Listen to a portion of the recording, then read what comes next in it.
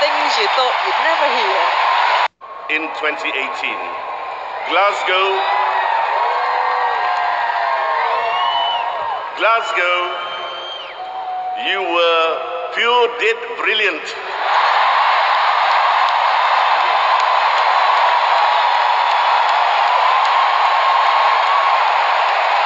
Thank you, Things you thought you'd never hear. Ah,